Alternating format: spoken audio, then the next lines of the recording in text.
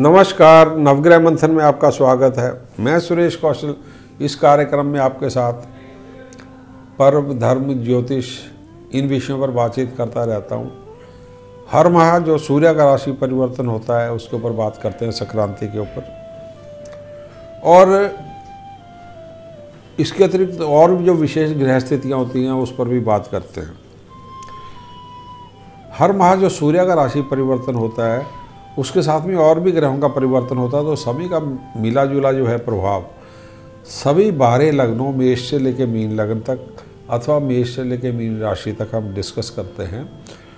आज मैं आपके साथ तेरह फरवरी प्रातः आठ बजकर उनचास मिनट पर सूर्य के कुंभ राशि में होने वाले प्रवेश, जो कि पंद्रह मार्च 2019 प्रातः पाँच बजकर चालीस मिनट तक चल रहा है। उसके बारे में बातचीत करने जा रहे हैं। क्या आपका वृषभ लगन है या नहीं, इसको जानने अथवा समझने के लिए आप क्या करें? अपना जन्म का समय, तारीख, महीना, वर्ष और स्थान। ये सारी सूचना आप जो है किसी भी कंप्यूटर के सॉफ्टवेयर प्रोग्राम में फ़ीड कर दें। उसके उपरांत यदि इस प्रकार का चित्र जो है आपके स्क्रीन पे आता है तो समझिए आपका वृक्ष में लगन है। ऊपर के तीन खानों में, मध्यम के खाने में यदि दो नंबर लिखा है और अंग्रेज़ी में टॉरस या हिंदी में वृषभ लगन छपा आ सकता है तो समझिए आपका वृषभ लगन है। परंतु यदि आपको जन्म की पूरी डिटेल्स मालूम नहीं है, परंतु आपका नाम का अक्षर, इसमें से किसी अक्षर से आरंभ होता है तो समझिए तो भी आप वृषभ लगन से प्रभावित हैं। अब ये अक्षर जो हैं, जिनसे आपका नाम आरंभ हो सकता है, ई, उ, ए, ओ, वा, वी वो, वे, वो। ये नाम के अक्षर हैं। इनमें से कोई भी नाम का अक्षर है तो समझिए आप वृषभ लगन से प्रभावित हैं। अब वृषभ लगन के ऊपर अथवा वृषभ राशि के ऊपर तेरह फरवरी से लेकर पंद्रह मार्च में क्या गतिविधियाँ ग्रहों की होंगी, वो इस प्रकार है। तेरह से पंद्रह फरवरी पैतृक संपत्ति से जुड़े अत्यधिक महत्वपूर्ण फैसले हो सकते हैं। देश विदेश में विवाह से जुड़े फैसले हो सकते हैं, देश विदेश में विवाह से जुड़े निर्णय लिए जा सकते हैं, देश विदेश में व्यापार से जुड़े निर्णय लिए जा सकते हैं। देश विदेश में आपको आयात निर्यात से धन आ सकता है।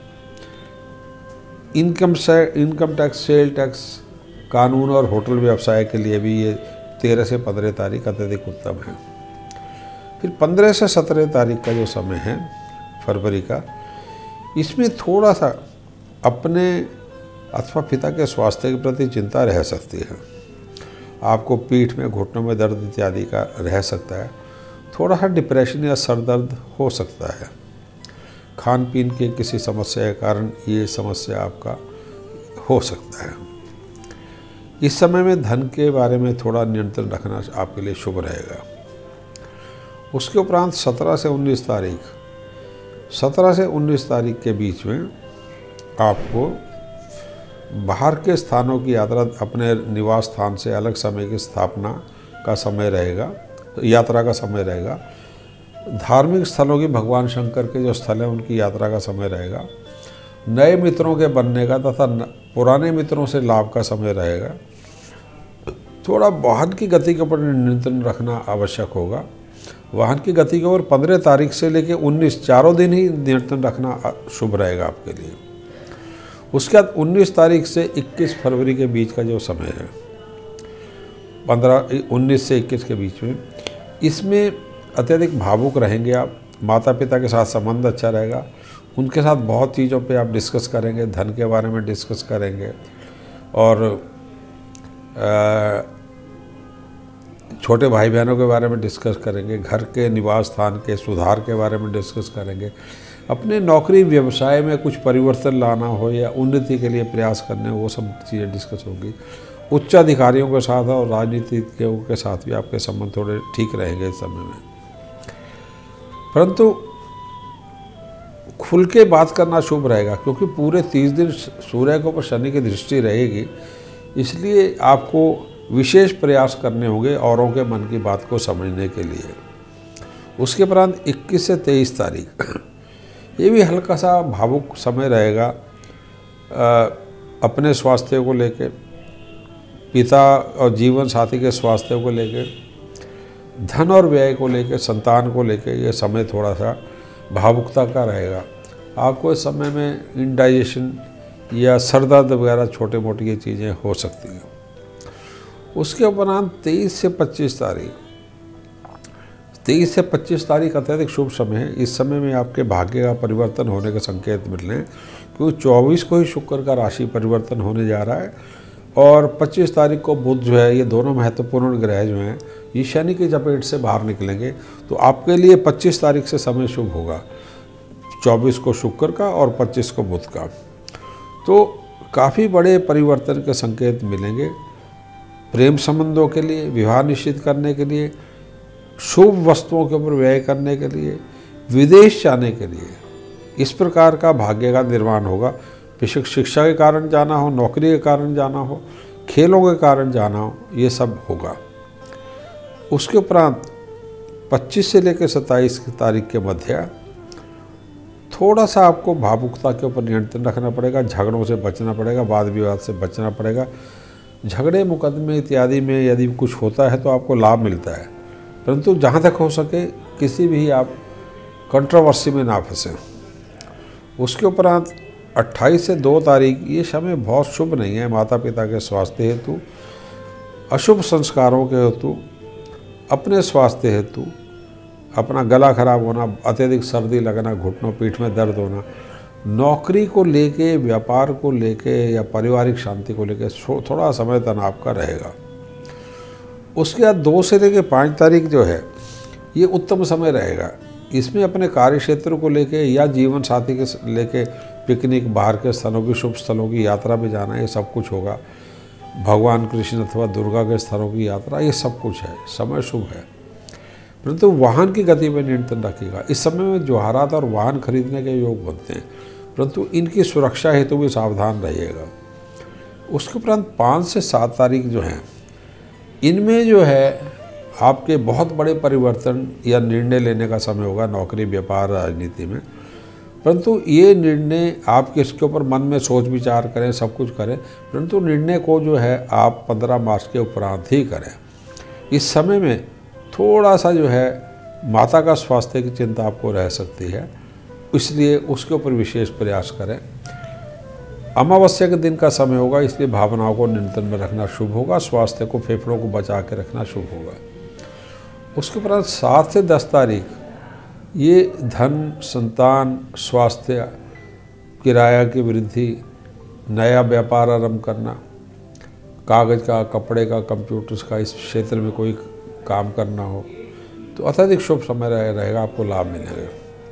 उसके बाद नौ से बारह तारीख जो है इंडिया से या विदेश में जाना या जीवन साथी पर व्यय करना जवाहरात पर व्यय करना किसी ज़मीन भूमि पर व्यय करना ये बड़े खर्चे का यो, योग है। आप इस दिन वो लेना चाहते हैं कर्ज इत्यादि वो भी मिलता है।